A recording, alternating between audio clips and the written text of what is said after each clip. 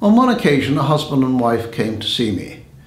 They appeared to be stuck over one issue which was very important to them. Yet quickly it became apparent that they were no distance apart. The problem had been that the wife simply did not have the confidence to be able to express her own views to the husband when it was just the two of them. But with a third person, the mediator, she found her voice and the parties were able to resolve their dispute themselves.